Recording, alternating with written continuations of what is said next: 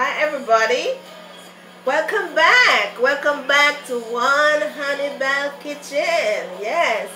I hope you're having a great weekend and having a wonderful time. We're having a wonderful time here. Me and Michaela. Say hi, Michaela. Hi guys. We are cooking and we're having a good time. I want to show you today what we're cooking today. Today we're co cooking some fish and this is curry fish. It's a little twist because it's grouper curry fish head. And you're to say to me, how comes you're cooking grouper fish head? I didn't know the fish can eat. That's the best part. When I finished cooking this fish head, you're gonna, my family gonna lick their fingers. And so, I'm gonna show you what I put in my my grouper fish head. I put some okra and I put scallion, onion, bell pepper, a little thyme, a little salt.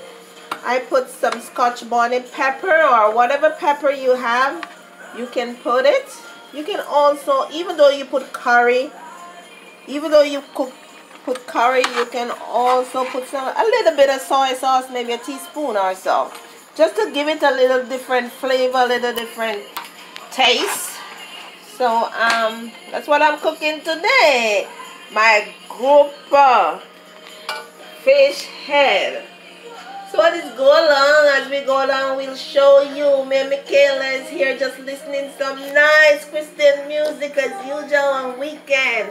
And just cooking up our food. Finishing up our curry grouper fish head. And you can get grouper fish head in your local super, supermarket.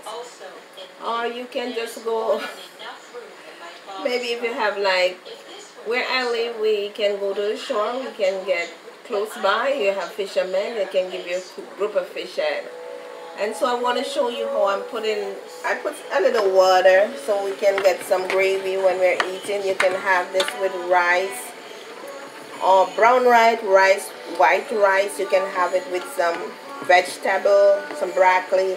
I'm to have this with some zucchini and yellow squash on the side. And Right now I'm to add some cornstarch because my gravy, although we have some okra, you, as a, okra is also optional. You don't have to. A lot of people don't like okra. You don't have to put it in there. You just make up the thickness with a little cornstarch. I did like two tablespoons of cornstarch in cold water and you take your time. You don't want to make the bone the meat fall off the bone. You just take your time after you turn it over once. You don't have to be keep on turning and turning, you know. If you have to turn, you would lift it like this and just take your time and turn it over.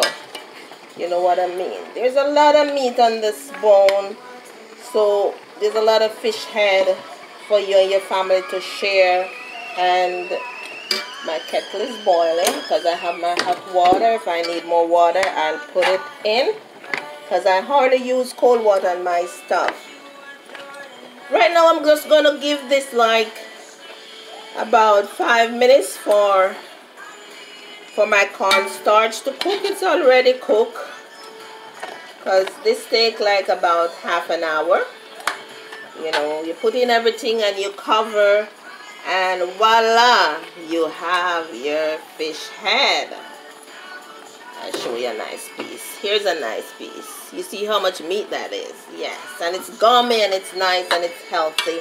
I also put a little piece of ginger. I didn't like cut it up because I want to find my ginger. Nobody want to eat like ginger in their food. I'll take this out at the end. I put some pepper and I told you you know what and what I just season it normally as you steam as uh, steam fish and then I'll just cover it and let it turn my burner to the lowest and about five minutes this is done right, Michaela yes And it looks so good so far, and I can't wait to try it. Thanks for listening. Subscribe and like and hit the notification bell. And follow us on Instagram. Bye.